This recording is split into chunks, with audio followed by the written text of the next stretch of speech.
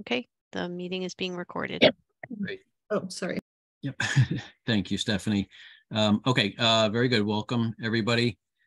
Um, to the uh, May 26, 2023 meeting of the Town of Amherst Solar Bylaw Working Group. Appreciate everybody being here. Um, and um, yeah, we don't have uh, uh, Chris uh, Brestrup with us today. She's on vacation, so uh, we'll have a little bit different of an agenda. Uh, but um, which has been circulated uh, in the packet, which I'm getting in front of me now. Um, so thanks. Um, okay, so uh, first up on the agenda is to uh, review uh, and vote on the minutes. We have um, welcome Martha and welcome Bob as well. Great. Um, we have um, I think we're caught up with minutes except for the last meeting now. So uh, for the meet, uh, we have minutes uh, to review and approve if uh, if we wish uh, for the last meeting, May 12th. Um, have people had a chance to look at that and any questions or concerns or edits um, or a motion to move? Um, Janet, yep. I had an add, a sentence to add um, on the second page um, on the section that said applicability and definitions. It's like the last. And so I was hoping to add, um, just because I thought it was a good idea, is um, the sentence suggestions included um, a solar overlay district and um, the John Lane basalt mine as a possible site for a large array. Yeah. Those, those are my suggestions. So that, so Any objections on that? I do recall those comments.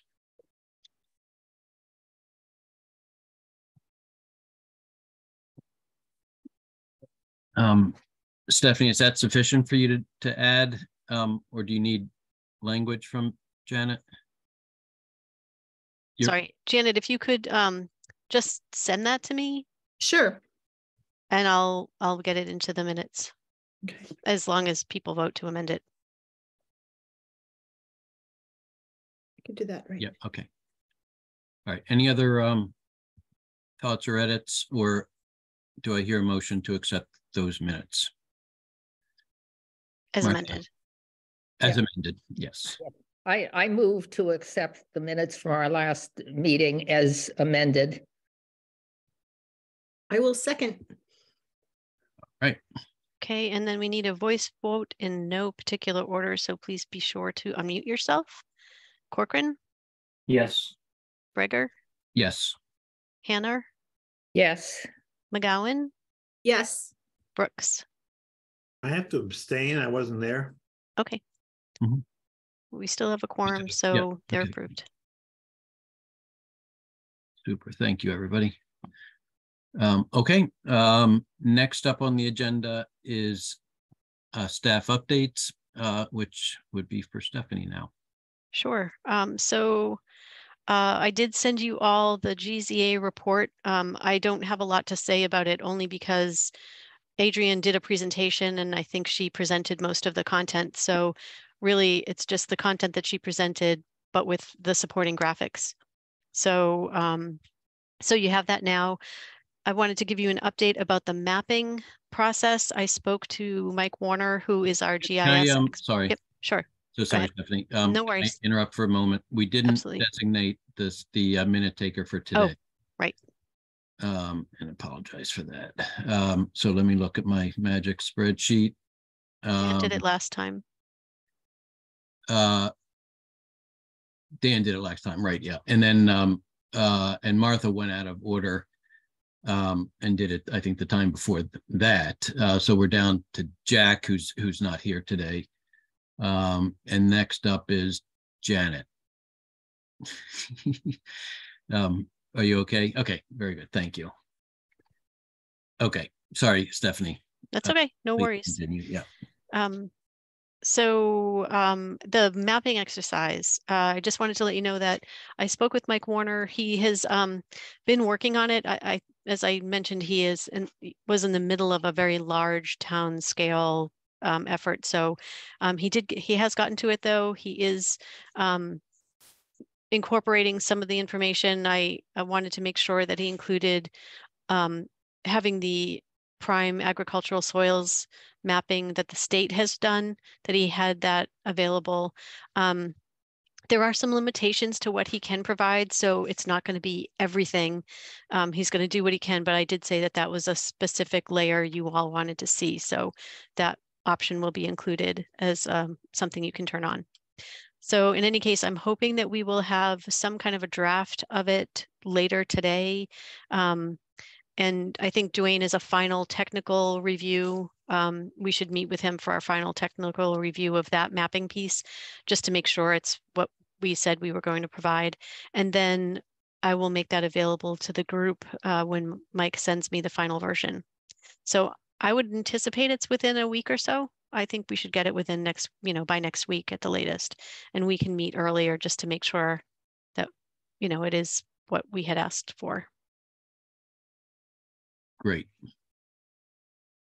Um, yeah, and I will uh, point out before we go to the other uh, comments um, is that time permitting today, um, uh, we have an item where I thought it would be helpful to um, sort of discuss amongst ourselves even before seeing the maps of what are the types of questions, queries uh, that we might want to um, posit and and and analyze uh, with the map mapping tool that we um, will be in receipt of. Um, uh, uh, just going into it and then and then having uh, being being prepared in that way, um, and um, uh, so I thought that would be helpful uh, toward, towards the end of today. Um, okay, um, and Stephanie, if you can just clarify, then is this is the intent of this tool is that it will be um, user friendly enough for us to use uh, either uh, individually uh, or together collectively at, during this uh, during a working group meeting. Absolutely. That was the whole that Yeah. it, that was one of its purposes. It was also something for the general public to be able to utilize in case they were interested in solar on their property, on their house, at their business. You know, it was just the idea was what do we have that's feasible? I mean, and again, it was to sort of try to eliminate um, some of the things that might prevent solar. So areas where it's blacked out are areas where obviously um, it's not potentially feasible right now um, based on various reasons. Um, so for instance, conservation land uh, or, or um, endangered species habitat, those have been blacked out. So that people can see automatically what's left and then they can sort of go from there to sort of again address whether it's a feasible development in that location or not. But I will also say that, you know, every, all of this comes with a caveat that everything is site specific and just because it shows up on the map um, doesn't even mean that it's absolutely a given that it can be developed because there's still permitting processes that people need to go through and you know there may be other you know there are other reasons why they may not be able to develop solar on that property so Great. Um, uh, but but for a uh, a non GIS, and I'm not sure if any we have any GIS experts or users on uh, in this group, but um, I'm not. Um, but um, would allow a user to do some queries like you know I want to see land that is um, not under conservation um, but in parcels greater than five acres, just as a random example. I don't know how specific a query you'll be able to do with this again, because this is something that Mike is building and there might be sort of, you, you might be able to look at it um, sort of on a parcel by parcel basis, but I'd have to, once Mike finishes the tool, I think, I think that's what that technical meeting will be helpful to sort Okay. of find out is, you know, Mike will probably give us a, a very quick run through initially, just to make sure it's kind of the things we were looking for. But then I think either I or Mike probably me, will um, then give a presentation to this group Yeah. on how to use the tool, which will then be available to the public as well in the recording, so that people can have an idea of how to use the tool. But it should be pretty user friendly. I mean, it's literally a base map. Yeah. You can select a parcel and then you can turn layers on and off over that parcel so you can get a better idea. And one thing Mike and I did talk about was that um, with the aerial, you know, sometimes people think it's it's easy to have the aerial view on, but it's actually in this case more um, challenging to have the aerial view on. So it's going to show up as kind of the base um, on the base community map. Uh, I'm forgetting which layer that is. I apologize, but just the sort of property boundaries. Um, so it won't show up. It's not an aerial photograph. It'll just be sort of like a mapping. Yeah. uh, Visualizes a mapping layer, and then you can turn on the aerial layer. Right. So it won't automatically come up with the aerial layer, and that'll probably make it easier. Yeah. Yeah. Okay, great. Um, all right. Uh, thank you. I for think that. Janet has a Yep, question. Yep, I'm, uh, Janet, yep. Um, I had the impression from um past meetings last that Adrian Dunk was going to come and give us a presentation on the final report. And then I'm personally less interested in the sections on the survey because I think we covered that pretty well. But um, I would like to have her come back and talk about how things were sectioned. So, you know, and, and you know, part of this is, you know, I, you know, I, I went through the map and stuff and I was thinking, okay, how do I get a closer look at this area? You know, something's white, something's green, something's like, you know, some different color. Like, how do I get into that? And then also I had questions about like what open land was or bare land or lawns, like how does that get delineated? So I just, how they kind of, how that was grouped was unclear to me. And how could I say, oh, you know, what's open land that's not being farmed or you know what's bare land? Like i was trying to think of what bare land i knew of in amherst versus you know a grassland and things like that. So i think it would be helpful maybe if she came in and just showed us basically how we can use and look at and how they divided up these different sections that i don't think our it person will know. So Yeah, I don't know that she'll be able to do that because at this point, I think we've expended our grant, our funding for for the project. We've kind of wrapped things up with them. So um, I think if you had a specific question though, I would be happy to, um, if anyone has questions in the group, feel free to send them to me and I can just shoot them to her um, and ask her for clarification and that can be made available to the group at an, at the next meeting. But I don't think she's going to be coming in for another presentation. That was the presentation that she gave was pretty much the presentation to the group. So that was just on the, the survey though not on the s- s- i mean the assessment is the meat and bones of this this contract as far as i can tell so and then is there a way for me without to look on, at the map and get it you know sec i know where i am can i like focus in without i mean i just think you know The report and the assessment are two separate things. The report is only about the community outreach. The assessment is the mapping itself. That map is separate from that assessment. I mean, I'm sorry, from that report. They're two separate projects, really. They're related, but they're separate. So the the report has nothing to do with um, with anything about um, I- mean, it just sort of identifies the process that they went through, but there's nothing, there's no sort of, um, map mean, there's no, no, there's a map, but there's no, but there's no, um, she, they didn't do this to, um, they just sort of summarized basically what, what the mapping exercise was and what it came up with, but there's no like, um, um, what am I trying to say?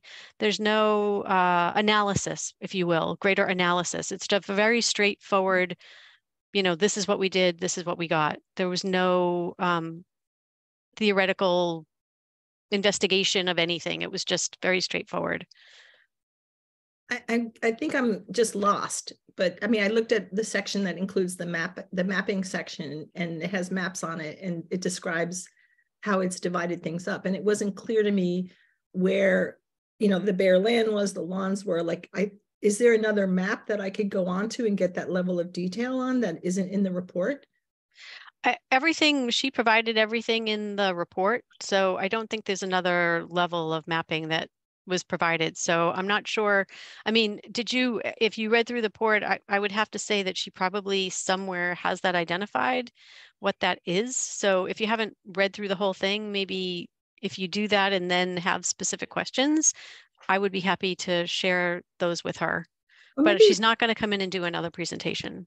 Okay, so maybe I could come in maybe with you or Chris to sort of like. Sure, Work it. happy to. Yeah, they're happy to. Absolutely. Be happy to do that. Okay. Great, thank you.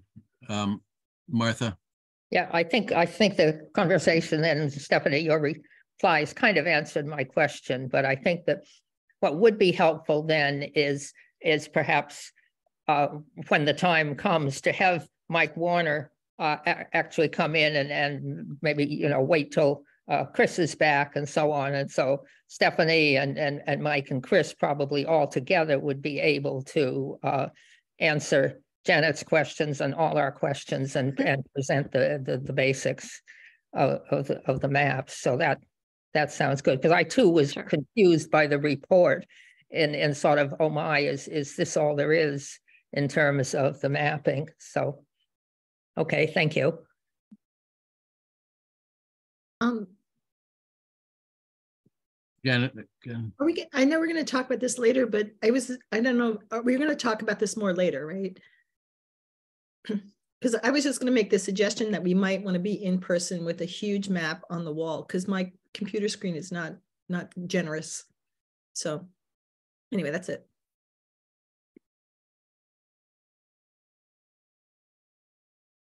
Um, well, are you talking about the mapping exercise with the, with, uh. Mike Warner and so, so forth? Um, um, I'm not sure. Well, why don't we, why don't we, um, start off with doing it by Zoom and, and see how it works? Uh, if, if we want to, um, do a meeting and if it's, if it's feasible and, um, kosher, if you will, uh, to do, to do, actually do an in-person meeting, uh, or, or some sort of, um, working group, um, to look at the, um, uh, look at the maps together, uh, on, on a larger screen. Um, and, and, and quote unquote, play around with it. Um, then, um, then I think we can work with Stephanie to, schedule something like that, but I, I think would have to be, uh, uh, I'm not sure how that would work in terms of our meetings, whether it would be a meeting or, or, uh, and open to the public and so forth. Um, um, but I, we can work, we could work with uh, Stephanie on that and Chris. Yeah. But let's, let's first see how, what we learn, what we can learn, um, and, uh, and to the extent to which we, we, um, feel like we need to, um, uh, come together in, in, a- on a larger screen. I think, yeah, I think when we actually present the overview of the mapping tool itself, that some of the questions you have will, those would be the times to ask those questions. I mean, it's not even done yet. So honestly, it's hard for me to answer um, anything specific because I haven't seen the finished product. So, um, and I know the report references the base map. It doesn't, it only references the base map, but again, I think some of that will be clearer when we have the final product. Great, okay, uh, thank you. Um, any, uh, other staff updates or or is that it, uh, Stephanie? Uh, That's it. Plenty, for yes. now. thank you. Um, all right, great, thank you. Um, any updates from uh, members of other committees um, that um, would be helpful for this group to hear?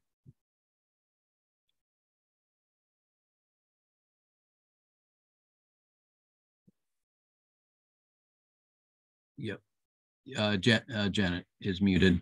Um, could, is, I don't know if this is for Stephanie or Dwayne, but could there be an update for us on the community aggregation? I'm I gotta get the language right, is, um, Community choice aggregation. thank you. Is That would be me. Oh, okay. I heard you giving that at ECAC and I thought it'd be Mhm. useful for us to hear too. Um, sure. Uh, just that um, we are beginning the community comment period June 1st. It will run through June 30th. Um, there is a community presentation that our consultant Mass Power Choice will lead on June 6th, which is, I think, I want to say Tuesday. I'm sorry. I don't know which day of the week, but it is June 6th and it will be held from 6:30 p.m. until 8 p.m. And it will involve three communities, Northampton, Amherst, and Pelham, which are the three communities that are working together to put together this community choice aggregation effort. Um, and so that will be an opportunity at that time for people to um, basically voice their support or concerns, um, just gives people an opportunity to um, to respond to the idea of of the aggregation. So we're not committing to anything yet. There, we haven't even submitted the application. This comment period is required by the Department of Public Utilities in order um, for the application process to move forward they need to know that the community is in support. Okay.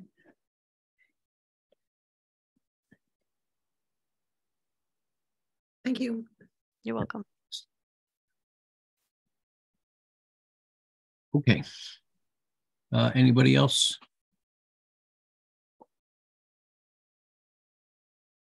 All right, so let's move on to um, the nexus statements. Um, and um, uh, what we've circulated in the uh, in the packet is a um, some additional drafting um, that um, I did and Martha provided, uh, and then uh, some comments that have been integrated um, from Bob, I believe, though I'm not sure if that's in the in the in the uh, in the version that was circulated.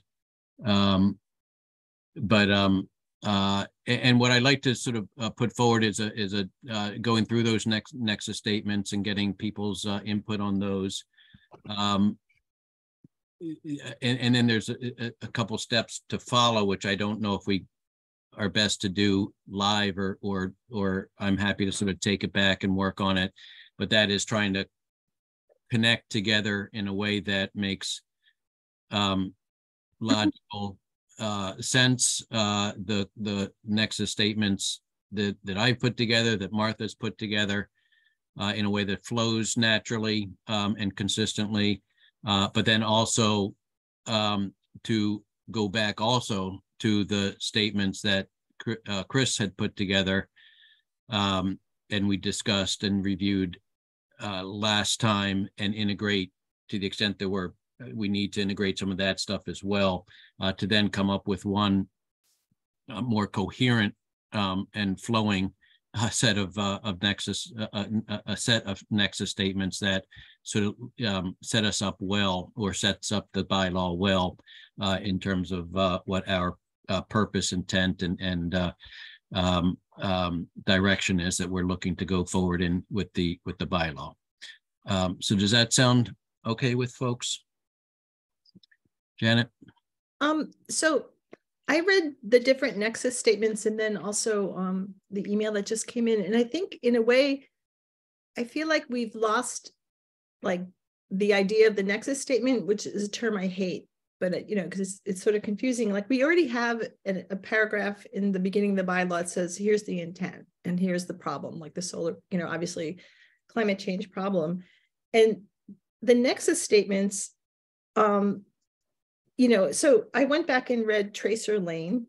Um, and the purpose of the nexus statement is to whatever we decide we're regulating, right, in the terms of solar, we need to sort of justify it and connect it to public health, safety, and welfare.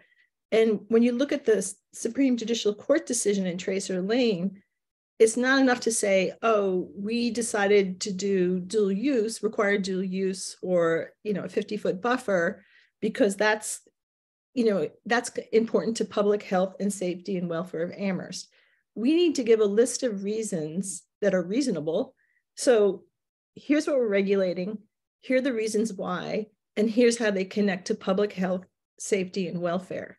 And so I have cheerfully volunteered to make up those reasons, or, you know, we, that's what lawyers do, right? And so those justifications, but I don't think we really need to um, have a formal statement about the problem of climate change and you know, what we need, you know, the solar, you know, the, the, the town, you know, I don't think we need to sort of lay out the whole problem.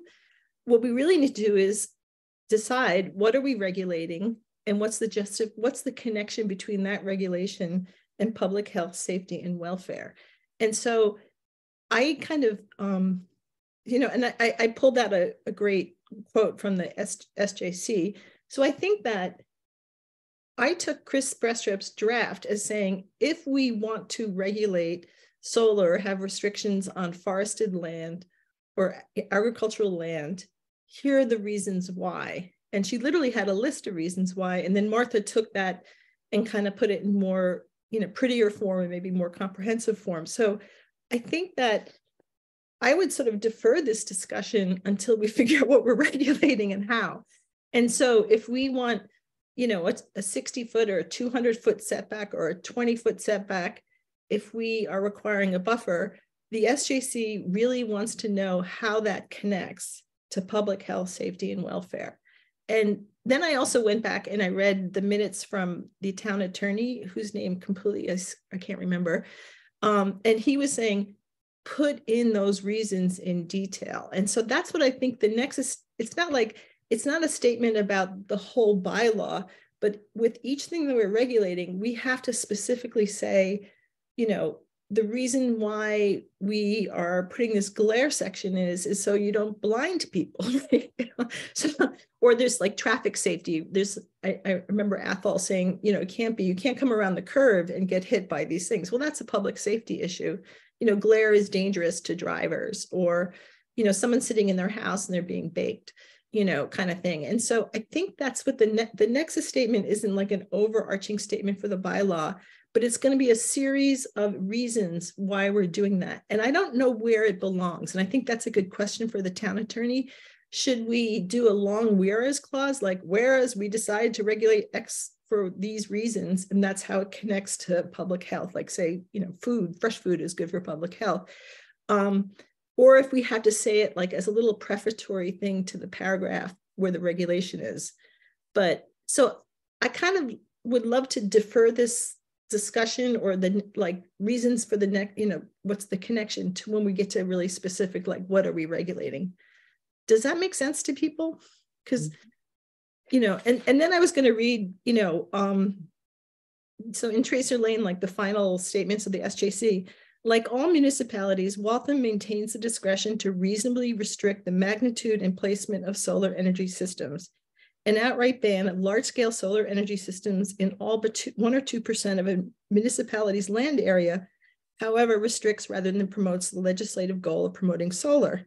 In the absence of reasonable, a reasonable basis grounded in public health, safety, or welfare, such prohibition is impermissible under the provision. So we have to say we're regulating this, and this is how why, and this is how it promotes public health or protects public health. You know what I mean? And so I don't think we need to spend a whole lot of time right now until we figure out what we're regulating and, and why. Is that that's a lot to say. Um, I, I would agree, and uh, to some extent, in that um, I, I was e even when we were discussing it last meeting, I was a little bit um, unclear about the differentiation between the um, intent section of the regulation and then the nexus section of the regulation. And I'm not sure legally or technically whether they need to be separated because they seem fairly um, connected with each other.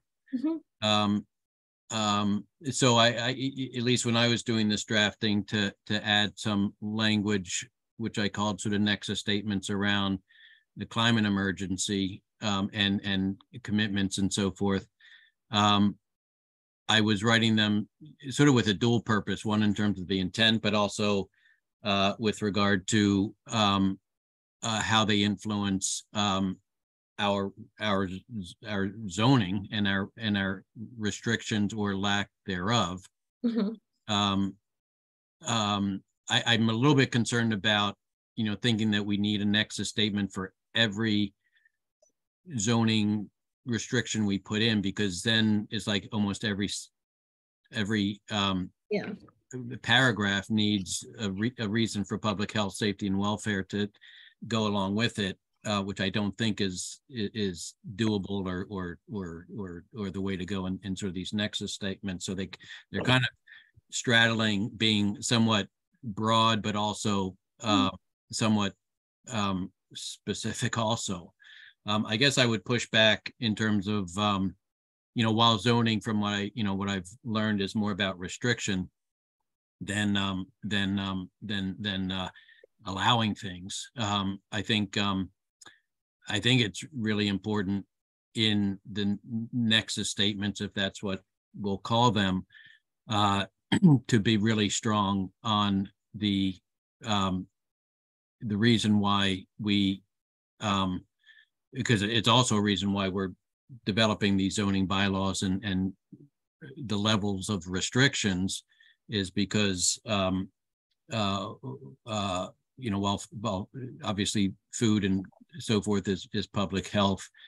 So is, um, addressing the climate emergency, um, uh, satisfies, I think, um, satisfies, or at least I think we should argue, uh, satisfies the importance or, or the impact on, um, public health and welfare. Um, so I wouldn't, I wouldn't want to shy away from those Yeah, um, in the next statements uh, as, as well.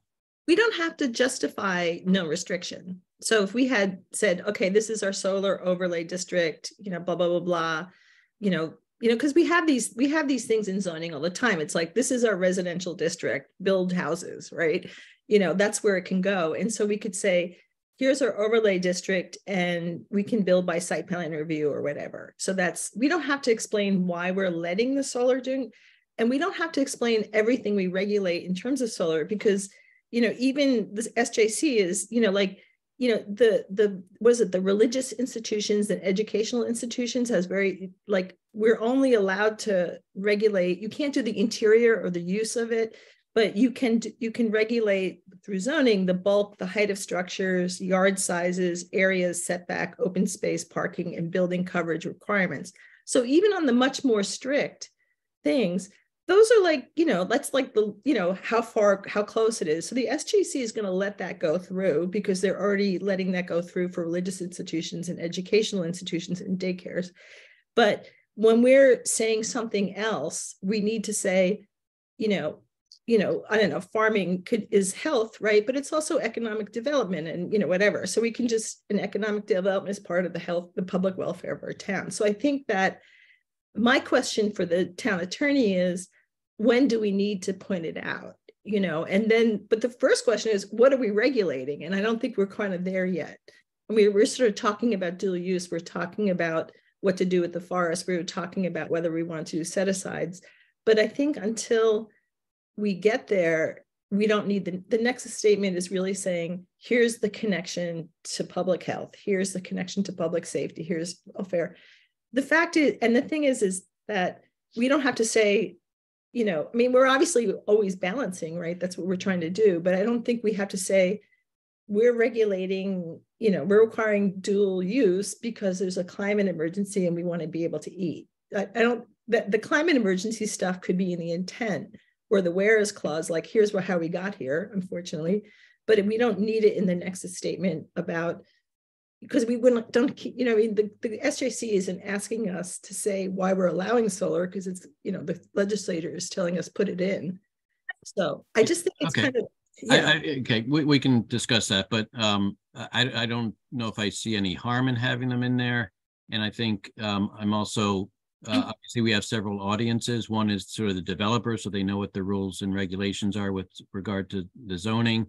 Uh, but also, I think we want to, um, you know, write, write, you know, either intent or whereases or nexus statements that also address, um, e- justify our draft uh, bylaw uh, to the town council when it goes there, as well as to the constituents as a whole. Um, Yes. I guess I would, would, I, I don't know if we can, or would want to, um, obviously, the, the, the SJC decision and the state rules allow for solar, um, uh, solar development, um, uh, unless restricted by zoning in ways that meet the, the SJC. Um, but, um, I wouldn't, um, it, it, I, I wouldn't, I, I don't think that means we don't need to mention, uh, the, or helpful to mention the, um, benefits, uh, of public health and safety and so forth associated with solar development. Um, but let me move on to Yeah. Dan. Yeah. Dan, Yeah, you're muted if you're, are you calling me or? Sorry, yeah, um, Dan? yeah, I like, I like that point about how this nexus statement shouldn't be finalized at this point, because we don't know what, um, what we're gonna need to put in it yet. Um, it makes a lot of sense to me to just make this a living document that we develop alongside the rest of the bylaw, as we're writing sections of the bylaw, where we go, okay, hold on, why are we regulating this? This is the reason why, okay, put it in a nexus statement. You know, Just have the two side by side as we're writing. yeah, I think that's a good, a good point, uh, to really view this as a living document. I, I would agree if we, if we decide to write a, a- a paragraph about zoning certain things and we think that is, that deserves to have a nexus statement, uh, then, um, then, um, this will be a living document for sure. Yeah. Okay. Uh, Martha, Yeah, I mean, I, I agree that it's probably premature now to try to wordsmith and get a perfect uh, section until we've, we've actually done the regulations. The way I would envision is sort of a, maybe you'd call it a preface or something, or an introduction to the bylaw that would have maybe just three paragraphs. It would first have a brief uh, paragraph on, you you know, yes, there's a climate crisis and what that is specifically, you know, excess of greenhouse gas emissions that we must do something about. Uh, one uh, brief paragraph that relates to the to the Commonwealth's uh, master plans here, because after all, we are part of Massachusetts, and presumably we're working in concert with them. One just paragraph that uh, mentions the CARP and the town's master plan, because they're both well documented and that they generally agree with the um, state's goals and the overall response to the climate things. And then, you know, those are the three general paragraphs, and then go on, you know, as we see the need to just to, you know, discuss the health, safety, and welfare of the of the specific uh, things. Uh, and that, as we say, we have to do as a living document and fill in as we go along with, you know, the forest, the farmland, the, you know, whatever else we're we're regulating.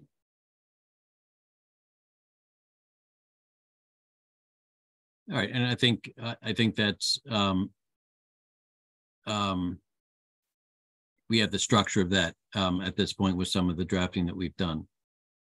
Um, All right, Janet, So I like, I like the idea of having that part of the conversation as we go on. And, you know, I kept on thinking about these kind of the connection or the nexus language as sort of a, I mean, inoculation, like we're trying to like, you know, the SJC is the thinking court or the appeals court. They, they- they're the judges that sit down and they're like, how does the law apply? And so the district courts and superior courts a little less conscientious. And so I kept on thinking, I've done a fair amount of appeal work and it's like, you know, we need to justify this uh, under these three things and what's the connection what are the reasons for that and so as we go along i could provide that and people could come up with reasons like how does this promote public welfare and health and safety and stuff like so i think it's a good idea maybe to keep it like as two running columns you know as we're regulating this and we're coming closer we can say okay here we justify it. And it's just like inoculating it from a lawsuit and a successful lawsuit. You know we had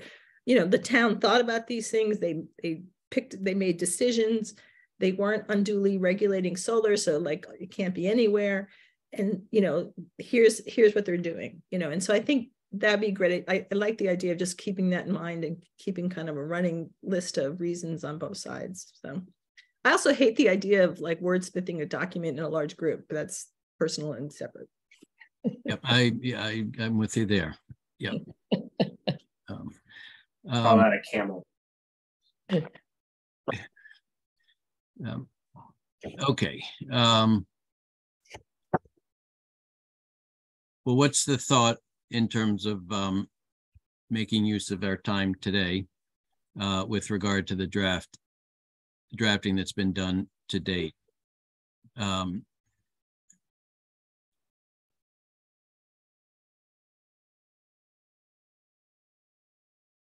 do we want to go through, uh, not wordsmith, but review what we've drafted so far? Um, and get some comments on, on those, uh, on what we have, um, not wordsmithing, but just sort of general, uh, sense. Um, uh, or, um, or leave this as a living document that we'll just continue to work on and, and pull it together at the end. Janet? I would kick it down the road and kick it to Christine more. And so make it, making her sort of the, the center of, you know, comments and stuff like that. And, you know, I'm, it's always good to give somebody an assignment when they're not at the meeting. But just, you know, like, um, you know, she is already sort of, you know, at the seat of a lot of the drafting. And so maybe sending comments to her, but I, I would love not to talk about this in super detail now. Sounds good to me.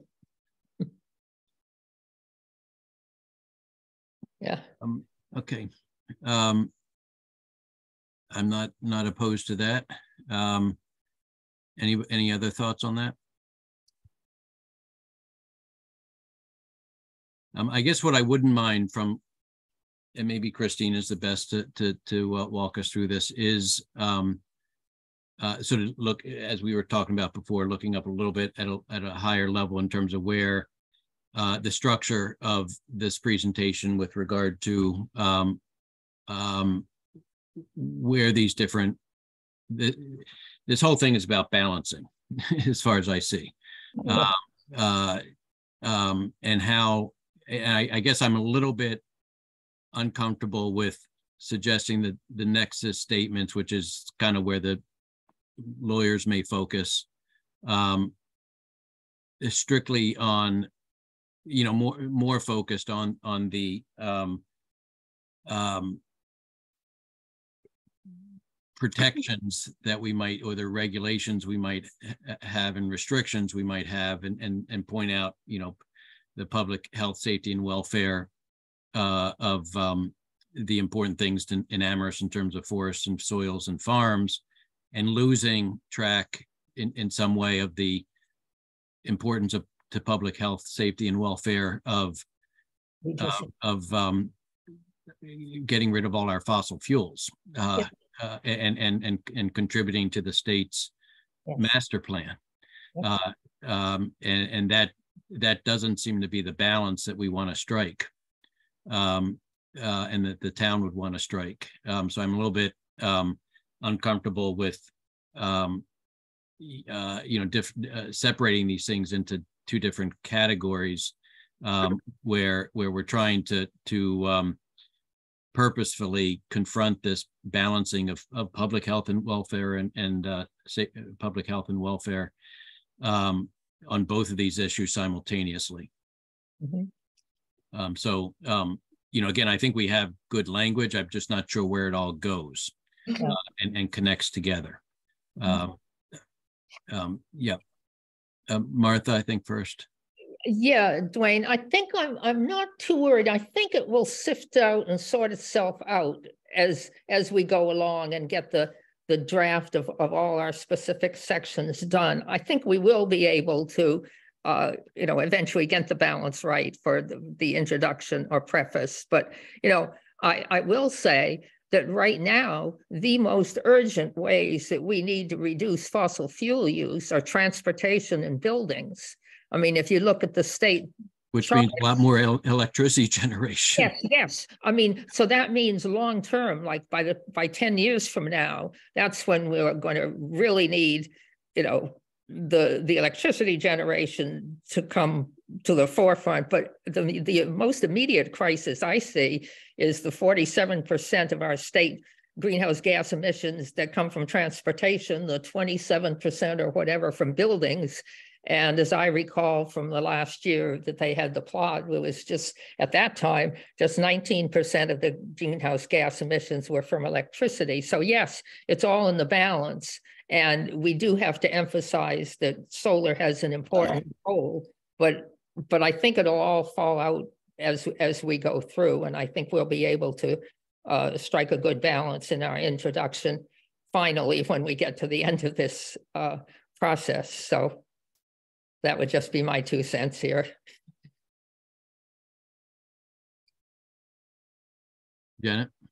So I wonder if um, maybe Chris and I could talk to the town attorney about where should the nexus statements go? Because I that was one of my questions. Because I, I I can't remember if I talked to Chris or in my many hours of coughing and thinking that I just thought I talked to Chris, but about whether it should be a whereas clause, which I remember from town meeting. So at least it's a justification, or you know I think in the minutes the attorney was like put it in the provision, and so I think it'd be good to talk to him at length or some very specifically like where should this language show up? Because you know even in the bylaw like in sections you know there's like a little prefatory like intent. And then you know they might even in the very specific provision say you know you know why that is being done but i don't think it's usually that wordy and so I don't know if the wordy stuff goes into the whereas clause, you know, where it's like we are doing this because of the terrible climate, you know, and you know, and all the health emergency and all that stuff. I mean, I think we just need to get better sense from him where and how this should show up. So I'd be happy to talk with him with Chris and then report back to the group. Uh, I'm not sure what Stephanie thinks about that, but um, if that is the case, I'd like to be part of that as well. I, I was just going to say, I think actually um, it would probably make sense for people to sort of have specific questions for the attorney and funnel them through Chris. And I think Chris will be the one to speak to the attorney. Okay. Mhm. Unmute Janet. Oh, I've done that before with Chris on other issues like years ago, like kind of because it's like the attorney talk. It's like you kind of like you kind of run through this thing. So Right. I hear you. I just, I mean, typically, you know, because the town pays for the time of legal counsel, um, we don't typically do that. So um, let me, I would just check in with Chris about that. So at the very least, I would say if people, I- not everyone's going to be meeting with the town attorney unless, uh, really what you could do is just invite him back to a meeting. You know, maybe if you want to have him, have him show mm-hmm. up at a meeting and then people can ask their questions ahead of time and then he can respond to them in a meeting would probably make the most sense. Okay. Do you think that's something that the town would be willing to spend? Yeah, I, th- I think we on- could bring them back in. If you have some very specific questions about, about that piece, it just makes sense to have them at the meeting. So everyone has an opportunity versus one or two members only having time with the attorney separately. Um, Shall we, in the meantime, Stephanie, um, individually just feed you um, Sure. some questions? Uh, Mhm. may- Maybe CC Chris, but she's out for the moment. She's going to be out for Yeah, the next meeting as well. So if you Yeah. want to start generating questions, I'll compile a list and get them together. I won't be at the next meeting either, but um, Yeah. mhm. if you want to start getting questions together. Yeah, I, I would suggest maybe waiting then until we're farther along with the draft. And then, uh, then I think by that time, we just, we'd really have our, our, our questions really, you know, concise and, and straightened out. And in the meantime, you know, when Chris gets back, uh, maybe she can talk to the attorney if we have a couple of specific things, but really, I think uh, now, you know, it's until Chris gets back, um, you know, then we'll get going step by step, marching through this whole draft now and trying to get each section really thought through and really right, um, step by step. I think we're about to that point.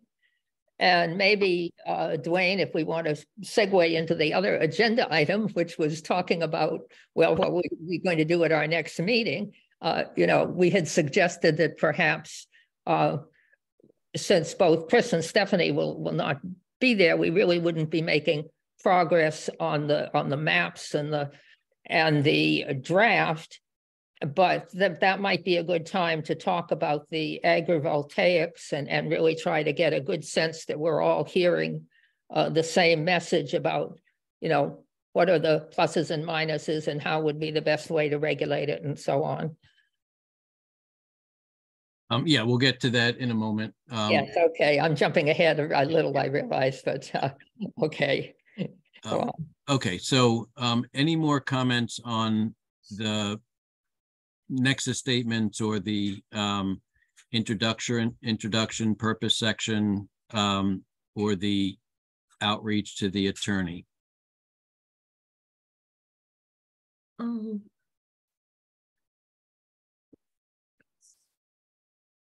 No, Um, okay, so we will feed uh, Stephanie with any uh, questions around this structure of the, of the, uh, of the bylaw. Um, and, and, and sort of how these, um, this, these initial sections fit together and, and, uh, uh, and sort of what's, what's the, um, standard or, or, uh, um, optional ways in which uh, that can be structured together in a way that's um, consistent with with uh, the zoning documents, uh, as well as sort of sets it sets it up well in terms of um, legal review. Uh, and we'll get those to Stephanie uh, over the course of the of of the week. Though Stephanie, you're going to not be here at the next meeting either. Um, uh, but uh, maybe we can then the following meeting sort of have some feedback on that. Yep, I'll, I can, um, I'll only be out the day of that meeting, so I'll be okay. here the week before. I'm not going on vacation. I'm just Okay, taking a gotcha. day for something, so, Okay. um, so I, it's just that one day, so you can send me comments through the week. Okay, okay, sounds good. And if you wanted, if you are gonna have a meeting, I could compile the questions and send at least a draft of the questions for that next meeting ahead of time. If you, if that would be helpful to you all. I'm sorry, what questions about what? I kind of missed. I think it was questions that we wanted to put in front of the town lawyer, Oh, okay, sorry. Okay. uh, the town council. Well, the other town council. I know. Okay, Yeah. Uh, I am. Okay. Um, okay, uh, sounds good. Um, before we get to the uh, talking about the next meeting, um, I did just want to, um, open up a little bit. It, it sounds like we will soon have the opportunity. Maybe it's not the next meeting because Stephanie won't be there, but maybe the next one uh, might have the opportunity to have, to, uh, work ha- hands-on during the meeting uh, with the mapping, uh, tool that, um, the town has, uh, is prepared.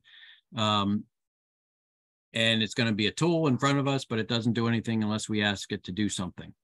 Uh, and so, um, you know, I thought it would be, uh, maybe helpful at this point, uh, just being a bit prepared. We can continue this a bit next week as well, but, um, be prepared to, um, uh, uh, to, to, to, to, um, think about ahead of time, uh, what sort of queries or, or, or maps we want to extract and, and, uh, and be able to see from this mapping tool. Um, maybe, maybe this will be an iterative process because I think we'll learn a lot more about the mapping tool um, from, uh, from the presentation on it um, when it becomes available. Uh, and then we may better understand what are the, what are the, really the types of questions and, and um, analyses we can do with the tool. Uh, but uh, that being said, um, I'm just put it out there in terms of if there's any sort of thoughts or ideas of what are the types of things we would want to make use, make this, make use of this tool for. Um, and so that we can maybe, um, you know, be prepared to step through some of those things if they're simple enough, uh, during the presentation and, and, uh, early exercise uh, and training on the tool, uh, or then be prepared to do, um, um, in between meetings and maybe, maybe be prepared to present, uh, at, at uh, subsequent meetings. So any thoughts, thoughts on that or ideas?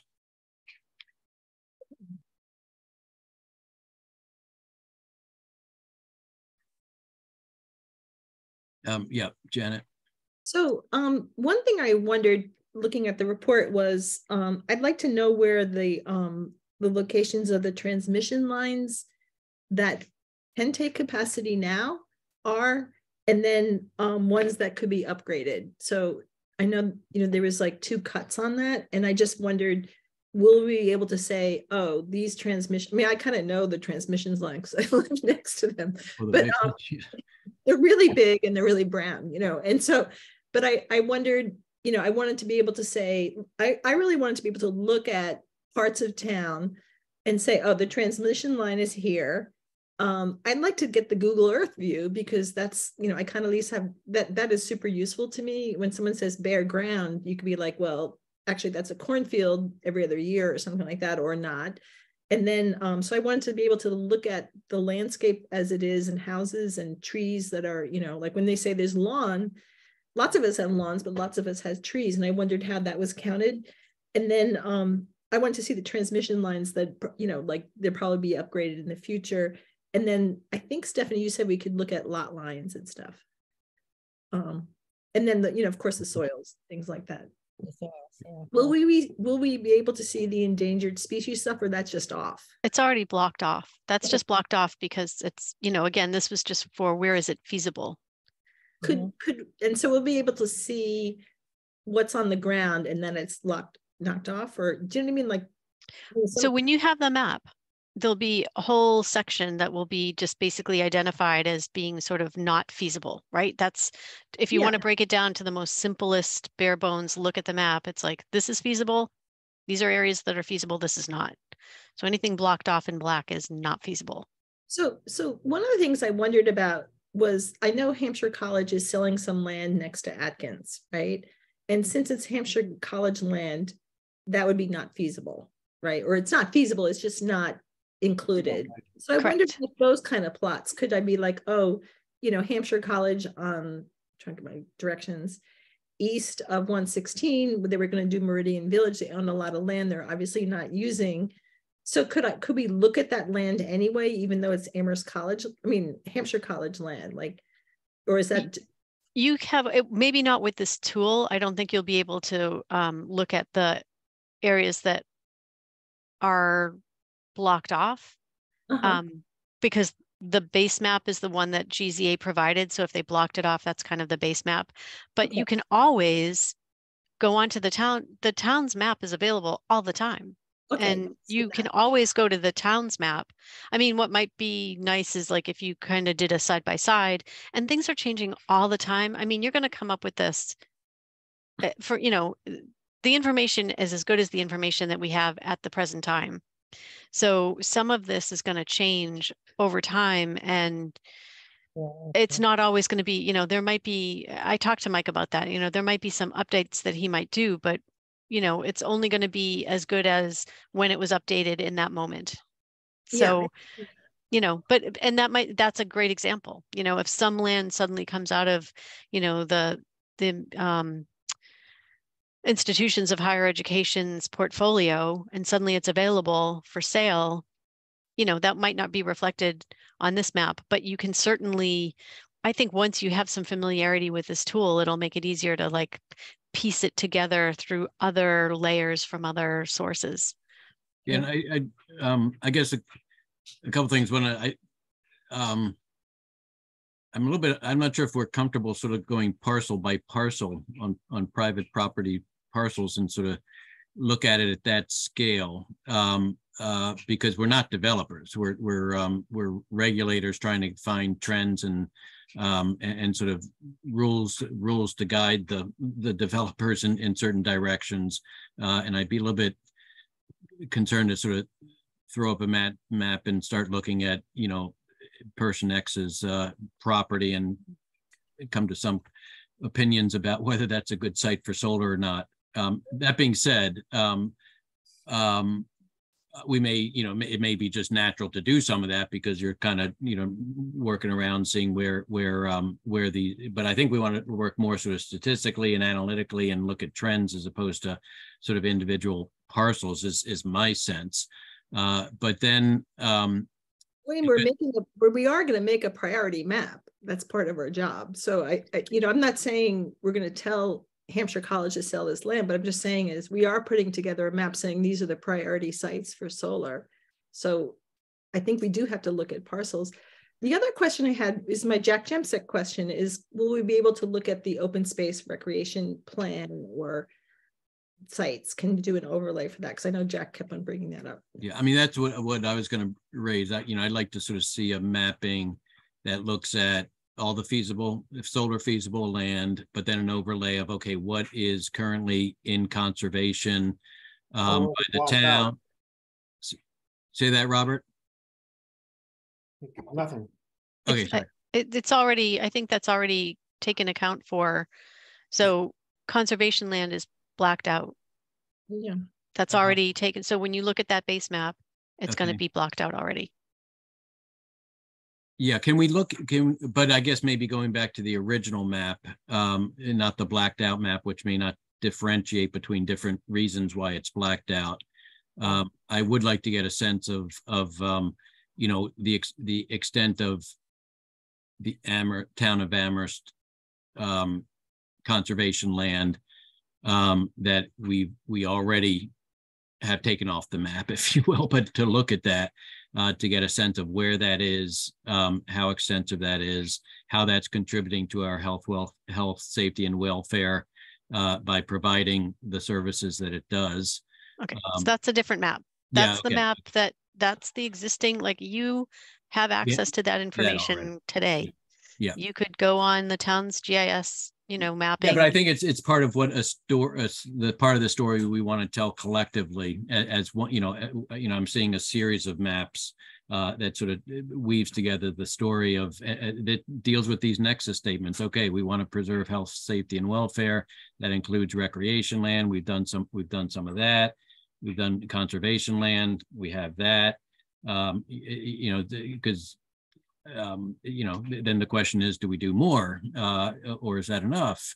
Um, and, and so forth. And so I think that's part of, of the story uh, we want to be able to unfold uh, and think about as we're developing the, the restrictions as well as the nexus statements. Uh, but I get you, Stephanie, that that's actually already um, available to us, but um, I'm just thinking more the context of everything put together. Okay, that, this is a, maybe a, a different conversation. And I think it would be helpful to have Chris here for this Yeah. conversation, because I'm really honestly don't think there's additional mapping that's coming. Um, so if you're talking about something specifically that you all want to see, I think that has to be a, another conversation. Yeah, okay, okay. Um, but you're saying that, um, we, we have access to do that ourselves anyhow. Um, and so, um, um, Absolutely, yeah, okay, absolutely. yeah, okay, great. Um, yeah, Martha, Yes, so, so following up on, on what you've been saying, Dwayne, I agree that it would be helpful to then, you know, see a, a different map that, that showed the use of the sections that were blacked out. Uh, and maybe it's possible even in one of our discussions downstream, we'd have two side by side. We'd have the one that shows the blacked out map, and then we'd have the conservation map that shows, ah, that those reasons were conservation land. And I would also uh, like to see, just for you know instruction purposes, uh, that's applied to the to the college lands because you know, as we all know, an awful lot of our land area is blocked out by our large universities and uh, two private colleges. And it would be interesting to see, say, for Hampshire College, which has, you know, lots, lots of open land, uh, to just to see the map that shows, well, how much of the land is open or fields or, or this or that. You know, you see sheep grazing as you drive down 116 there and you think, gee, you know, this be a good place for uh, dual use solar right over the sheep and uh, so on. So I, I think it would be helpful to at least see that at one point on a map. And as you say, Dwayne, the conservation, some of the other uses, so we get kind of a side-by-side picture of, of our land area and, uh, okay, what are the regions for, for solar and, uh, along the, you know, prime soils and so on. But I think that's all going to come as we get into the mapping and we, we have Chris and hopefully uh, maybe Mike uh, Warner and Stephanie all kind of uh, helping us to display the maps in a, in a meeting here. Yeah. Great, Stephanie. Um, I just wanted to say that I think when we were developing the map, there might be some um, inability to access some of the information about the transmission line locations um, because they're the utility company and that's not readily available to the general public some of that information. I don't i can't recall specifically what it was and dwayne you might recall the conversation we had with adrian during one of our meetings. But they as a consultant had access to information but the general public doesn't so they couldn't be specific. So i don't know that we will have as detailed information as you might be looking for. Mm-hmm. Right, yeah, yeah. And these would be more the distribution lines, I think, than the transmission lines. Mm-hmm. But it's the tran- transmission lines that matter for, for large scale development, right? Well, mm, No, we know, they- we pretty much know that the transmission runs, you know, north and south through town, yeah. So it's pretty, that's why we were saying like in, when they were, when we were doing this mapping exercise, access to the transmission lines is pretty much anywhere in town because it's, you know, you're within a few miles or less of getting to the transmission lines. Yeah, but I, th- I think typically the solar projects, um, you know, unless they're like tens of megawatts, um, would in, uh, interconnect on the distribution lines. Mhm. Uh, the three, you know, the three phase distribution lines, um, Yep. which I think, um, um, GZA looked at, but, but uh, yeah, I'm, I'm a little bit unclear in terms of what the public view of that will be. Okay, all right, well, this has been helpful, uh, just to sort of think this through a bit, um, as we, um, start to take a look at the maps in the coming weeks. Um, okay, any other thoughts on that? All right, great. Let's, um, then, uh, yeah, talk about the next meeting. Um, we are expecting a quorum, uh, is from what I understand, um, in terms of vacations and so forth, but, um, a lack of, of, uh, staff, uh, uh, which is logistically not a problem or legally not a problem. Um, Stephanie will be able to set us up with somebody else to help conduct the meeting, uh, at least the Zoom, the Zoom part of it. Um, and uh, so the idea was to, and Chris won't be here, but, uh, but, um, use some of that time to,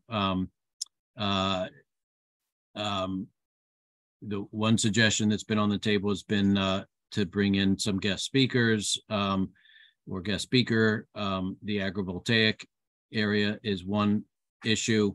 Um, I am prepared to reach out to Jake Marley, um, to ask him if he's available, if that's of interest. Um, um, uh, but I think we would also want to, um, uh, see who else might be able to, might be, uh, appropriate speakers on, on, um, on dual use, uh, or other topics. Uh, Janet? So you're you're doing your institute um is doing kind of is doing a series of meetings on this issue for Western Mass. So are there people um you know from like CISA or NOFA or some you know farm organizations that could come in and talk about solar and farming and dual use? Are there farmers specifically who are doing dual use right now? Like can we I you know I- you know, I have I keep on offering Fred Bettel, who has his slideshow, but um, you know, I could also ask him just to send me the slideshow to see if I think it's useful, and I could send that along to you. Um, but I, I think it'd be, you know, like if we can kind of um, use the people that you're reaching out to, um, if we can get like a few guest speakers from that list, it'd be great. Yep, uh, uh, we, we, we haven't really put together a speaker list for the, uh, fall forum that we're, uh, developing, um, and that's not specifically on, or, or not specifically on agrivoltaics, but a range of, of issues that we're all talking about anyhow, um, on, on solar and siting and so forth. Um, uh, but yes, in addition, I, I mean, two organizations come to mind. Um, we work closely with AFT, American Farmland Trust. They do a lot of work on agrivoltaics um, um, across the country, but no uh, locally as well. Um, and then um, as part of our DOE research grant, we do have a steering committee and I'm blocking offhand on the person's name from, um, I think it's um, NOFA, uh, but I'd have to double check. Uh, but we do have a steering committee member who might be a, a, uh, a person I could call on to see if they're available. Also, what is, I always forget CISA and NOFA, like I've used, so Northeast Uh, Organic Association and Community in Support Community- Agriculture. Community engaged in sustainable agriculture or community engaged, yeah. No, no, okay. Yeah. Got one, okay. Yeah, I think actually, I think our steering committee member is C is in on CISA. NOFA is, is uh specifically organic farming. Okay, that'd be great. Okay, um. Yep, this would be for um two weeks from today. Yeah, yeah. That, that sounds, that sounds interesting. I think, I think we could all uh, learn a lot from, from that and, um, uh, I think if some local farmers would be able to, uh, you know, at least a- attend and, uh, you know, make any comments from their side, I think might be helpful after the, hearing the presentations and but I think we'd, we'd all feel better educated if we have all that in public and then we'd kind of have a good sense of how to write whatever we want to do about uh, the, you know, regulations for the agricultural land and what to say about the uh, dual use and so on. So thank you. All right, I think we want to, um, and I. I'll have to check with Jake if he's able to talk about this, but, um, you know, the state has. S- Uh, very detailed regulations with regard to agrivoltaic installations. Um. If you want to get the incentive, um, the SMART incentive, the adder, which typically it'd be hard pressed to do a project without that. Yeah, Uh, And so, helpful. Yeah, um, so that would be, uh, uh, something I could see if, uh, Jake could handle. That'd be great, yeah. Yeah. Good, good. Um, Stephanie, Yeah, I just wanted to suggest that if you want to do this more like, and I know Martha, you've brought this up before, if you want to do it more like an education series where you're actually providing this as an opportunity for experts to come in and for farmers to come and join the meeting and ask questions, I think you would want to put it on the agenda that way because this isn't public comment. This is a very specific mm-hmm. educational format. So it's different. It's not, you don't Yeah. typically in the middle of a meeting allow public comment and feedback, right? You have two, you have a very dedicated opportunity for the public to provide comment. Otherwise, you're doing your business of trying to create the solar bylaw. So, but if this is a sort of different format that you want to do for this meeting as an educational opportunity, then we should um, someone could put together a flyer once you know who your speakers are going to be, and we would want to get that information out. And you'd probably want to do that sooner than later so that we can get it out on our social media, um, put it on the town's website and um, and post it as such. Yeah, that'd be good. Just the way you were doing for with the ECAC and the uh and the heat pumps and. Right, because that's an educational series aimed at the public. So they're not necessarily doing their business of deliberating over Yeah. initiatives. They're just providing information for the general public um, and offering that as an opportunity for people to hear from experts and ask questions. So um, I, I mean, I know that you're doing a very specific thing in developing a solar bylaw, but maybe this one meeting is a one-off where you do it as an educational opportunity. Yeah, it's, it's kind of a, a- it's a hybrid, so to speak. It's for our information in this case, but also I think it would be helpful to, uh, to make it more of an open opportunity for the public, as Stephanie suggests. I think that's a good idea. what, um, I, I, my main hesitation is that I'm, uh, vacation next week in terms of pulling this all together. Um, Yeah. uh, which I can certainly reach out to the speakers that I mentioned um, today or, or, or Monday or something to see if we have a, a, a, a, quorum of good speakers. Um, and I don't, I don't want to overdo it, but I'm thinking of somebody, um, uh, Jake, if he's available, somebody from AFT and somebody from CISA, for example.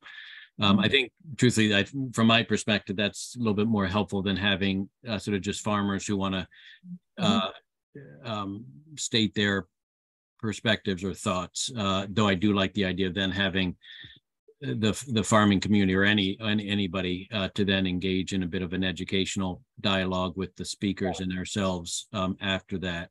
So um, I mean, I'm good with um, inviting the speakers and trying to get those speakers uh, available this time. Um, say for the first hour, uh, particularly of the of the meeting next week. Um, but um, could use uh, some help in terms of um, um, outreach. Um, uh, I'm not sure if there's a sp- um, a, a a particularly good outreach up uh, avenue for the farming community in Amherst. Um, some of our speakers may know. Yep. Um, but um, I could, I could tap into my ultimate frisbee farmers who seem to know everybody. Yeah, And, and Dave Zomack. uh, Strange overlap between farming and ultimate frisbee. I don't understand it, but okay, there, there's a correlation. yes, yeah, so It, it sounds Yeah, like. I guess Dave Zomack would be. uh, would it might be causation. I don't know. So, Wayne, it sounds like if you can provide, uh, you know, confirmation that yes, we'll have speakers, we just give it a general title and say, you know, there will be open for a question and answer set at the end and, um, you know, Stephanie, if you need help, uh, it sounds like the rest of us would be able to help publicize it to, uh, groups that, that we know whenever you'd like us to help. I think what would be helpful is if someone generated the flyer. Okay. Um, Well, why don't you but we need the speakers. Yeah, yeah, send out the information then as soon as, Dwayne, as soon as you have it and give it to Stephanie. Stephanie, send out the information and maybe some of us will um try our hand at a flyer. All right. All right, sounds good. Yeah. Um, all right, any other comments on or thoughts on that for the next, the next meeting? All right, super. Okay, um. Let's, um, Wayne, can I ask a question? Yeah. So it seems like this could be a really good discussion and it could take up the whole meeting. Is there anything else that we need to talk about at the next meeting? Because we won't have any bylaw. Is there some other um burnt issue we could put in there or? Um. Yeah, okay, so in terms of any other agenda topics, I mean, I think we could have this presentation and, and, and, uh, community Q and A and so forth, and then, um, end that for, and formally end that process and then go into, um, more, uh, discussion about what, what did we learn from all that with regard to the bylaw?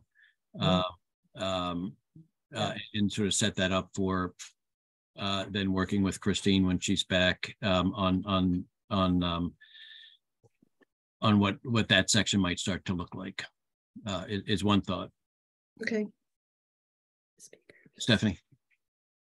So um, this will still officially be a meeting. So Yeah. you're still going to have an agenda and a meeting format. Yeah. So I would say that if you, you know, with the ECAC, what they typically do is they do their business in the first hour. And then in the second hour is when they have the presentation and public comment um, or question and answer period at the end of that.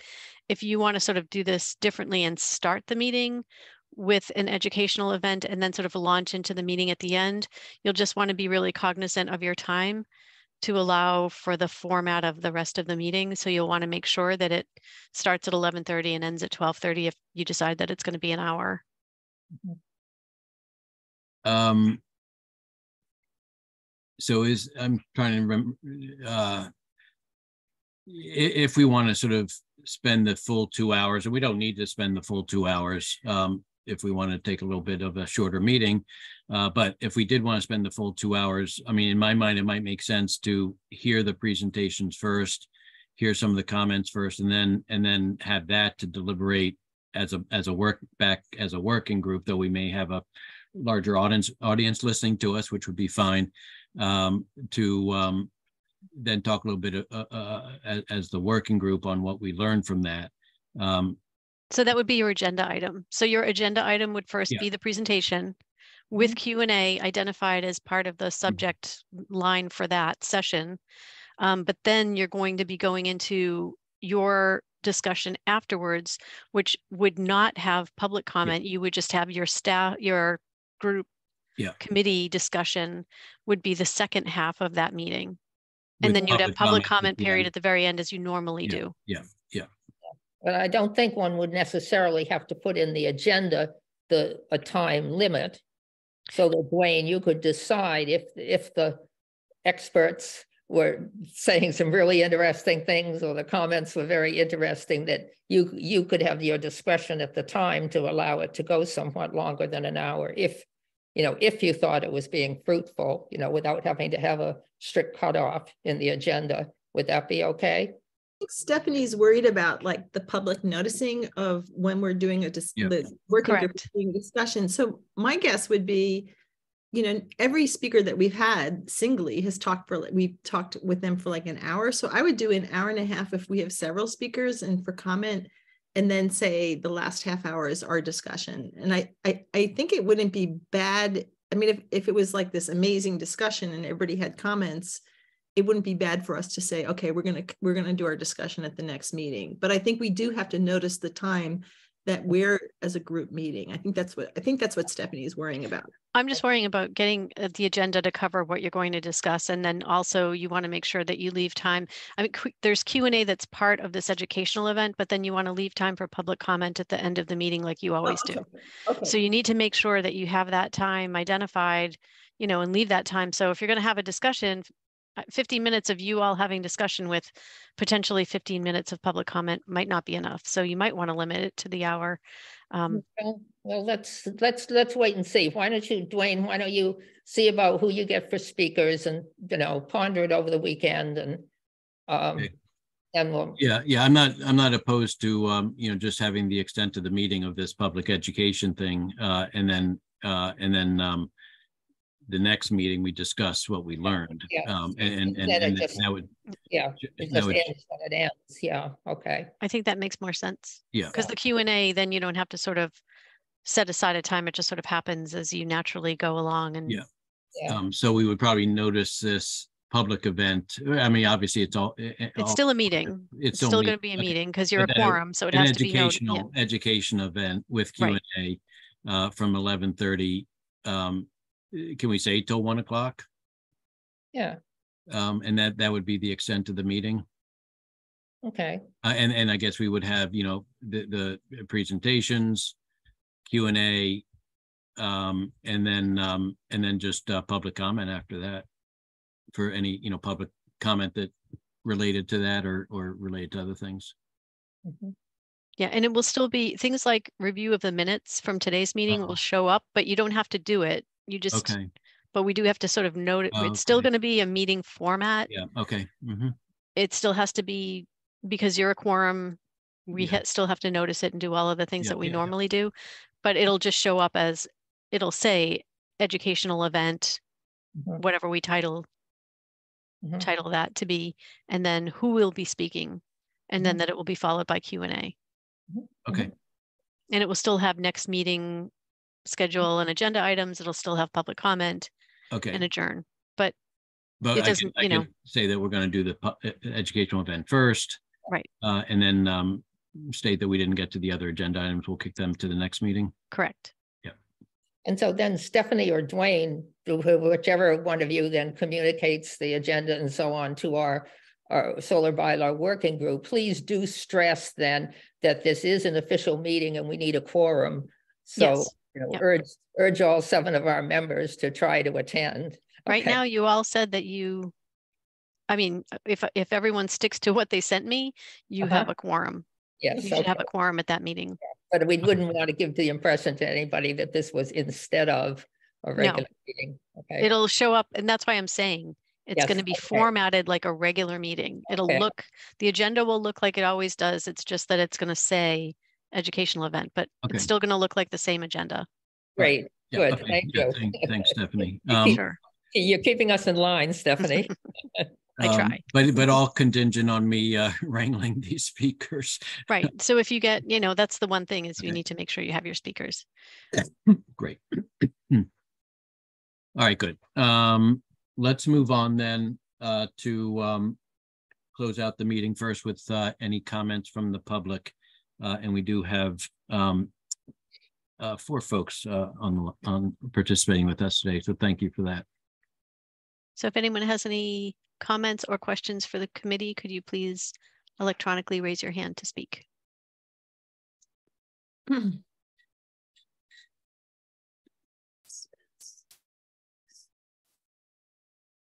Okay, Eric, you can go ahead and unmute. Thank you, Stephanie. Uh, thank you all for your continued um, hard work on a very difficult um, but critically important um, topic for the town and for the world.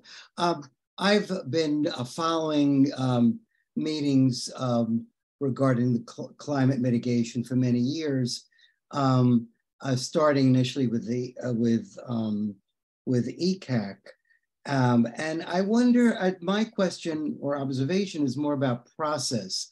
Um, uh, early on in the um, um, in ECAC's existence, the niche report was released and it identified quite a number of acres of available um, rooftops as well as uh, brownfields that could be developed.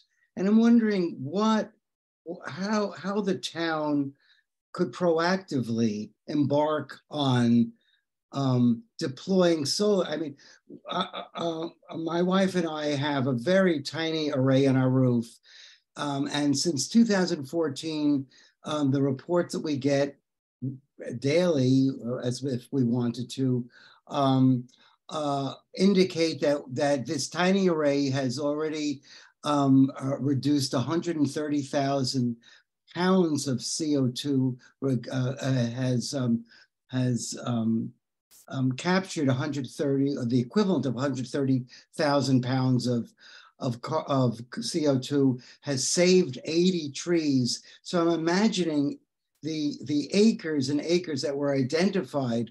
Oh, I would say four years ago. If they were fully deployed, how many millions of thou, uh, pa- pa- um, pounds of CO2 would have been captured, how many hundreds and hundreds, thousands of trees have been saved. I'm wondering how the town would would uh, proactively embark on deploying solar on already identified uh, roofs and brownfields. I guess, is that. I guess that's kind of me. Well, also maybe I don't- comment from, uh, from ECAC, um, and I'm not sure, Eric, if you were at the meeting yes, yesterday. I Uh, was. Yeah, yeah, so there was some discussion about, um, uh, a role that ECAC can play. Um, you know, while we're developing these and, um, separate from, but, but related to, you know, developing these, these zoning bylaws and so forth, which is the purview of this committee. And it's really more focused on ground mounted array, arrays. Um, what, uh, what might be a role for ECAC, uh, to help, um, move forward the opportunities for, uh, the built environment. Um, and, uh, so that you, you might have recognized that in the discussion yes, yesterday. Uh, there wasn't sort of a, um, discussion about specific actions, but that is a topic that's sort of teed up for ECAC, uh, to, to, start thinking about. So, um, that's one thing, but maybe Stephanie has, has some uh, thoughts, uh, certainly on the town, town properties. Yeah, I was just going to say that I think, um, you know, as with anything, one of it becomes um, investigating where we can um, achieve the greatest good with the most economically.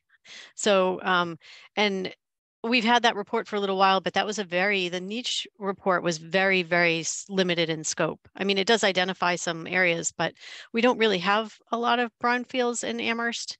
And so we don't, uh, I think part of the problem with things like when you identify parking lots, we understand that we could build parking canopies. But when we discuss that, when it comes up, it's often um, very cost prohibitive. And it's not as straightforward, like even so for instance, I'll just throw in an example is like the parking lot in front of town hall is at a slope. It doesn't look it, but it is for a solar, you know, for a solar canopy. So um, that requires a lot more cost to sort of make that an even grade. So these kinds of questions come up. So it's not that the town never looks at these reports. It's just that in the scheme of trying to look at everything as a where we where do we allocate our funding, it, it becomes a bit of a challenge. So I think we're also, um, with this solar assessment and the development of the solar bylaw, I think we're in a different place and at a different time.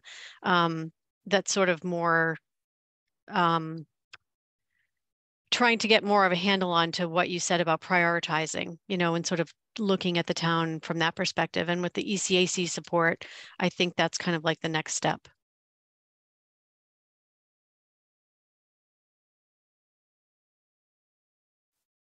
Great. Um, uh, Ja- Janet, did you have a comment on that? Um, one was just that I'd love to see the niche report. Um, and then also I think, I think Eric might be talking about how to get other, like individuals or companies um, to deploy solar on rooftops and stuff. I'm just guessing. It wasn't just town properties. Yeah, that, I mean, and that's, um, what ECAC was talking, you, you didn't go into details, but uh, for the ECAC, um, you know, we don't have any particular, um, rules and regulations, but, you know, we do do, um, look to do public outreach and, and education and so forth. And, uh, so our purview would not be limited to town-owned properties, but, um, but the constituents in Amherst. Yeah, I, I guess my concern is that once a bylaw is uh, written, it really, I, it, it certainly codifies what a, what a private landowner and a private developer can do. And I'm just wondering how the town as an entity that has, uh, has potential to deploy, how it can proactively engage in uh, in utilizing what we already know exists and have that we can and that we can control. So it's it's um, it's a question of what what is the town capable of embarking on uh, um, uh, um, um, climate mitigation pro- projects, or is it really are we looking at um, uh, uh, corporate America, corporate in, uh, to to do it for us? Is my, my question. We've already identified in the niche report that there was a brown field across from the Hampshire admissions office on east of 116, a large tract of land that I think in the report indicated it was a former gas station or had some kind of blighted um, blight problem. Um, um, uh, so um, wh- where wh- it's we're four years down the road, and as I indicated, just as a per as a private land uh, house owner, and with a tiny rooftop solar, uh, we've been able to stave off 80 trees are being uh, stave off cutting of 80 trees and also sequestering 130,000 pounds of CO2. And I can't imagine what if you multiply this tiny tiny postage stamp part of an acre on a roof, what that what it would look like if we were to magnify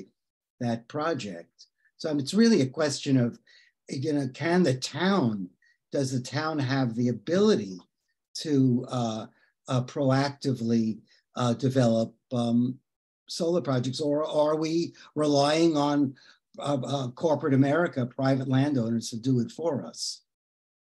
I, I would point out, and, and uh, all good points, Eric, uh, appreciate that, but I would point out that uh, between the landfill project and the Hickory Ridge project coming, which were proactively done by the town, that's, I, I, I- I suspect is the majority of solar capacity we have in the, in the town. Um, so, um, those two projects, um, are what, probably ten megawatts in total, uh, of the 20 25 or twenty-seven, I think megawatts that we have in town. Um, and so there has been that proactivity by the town to stimulate and, and, and, and facilitate those projects. Thank you. Which took a long, uh, I mean, not Hickory Ridge, but we all know the story of the landfill. That took a long time. Hopefully they won't all be that difficult. Thank you. Yep, thank you. Sorry. I just want to jump into to respond to Eric that the CCA may address some of this once it's um, once it's actually um, been the application's been accepted by DPU and once it hopefully gets approved, we assume that it will. And I know it's a few years down the road, but you know, um, one of the goals of the group has been the the three communities has been to have a joint joint powers entity that would house that program within it so that it might allow for some projects like microgrid development um, of renewable energy resources, not only solar, but you know, potentially others. So that's kind of one of the missions of that work as well.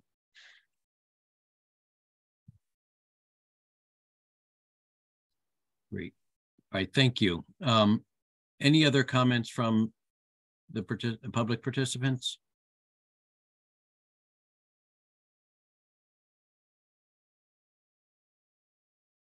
Great, seeing none. Um, any um final comments or thoughts from the group? Uh, otherwise, we'll end a bit early.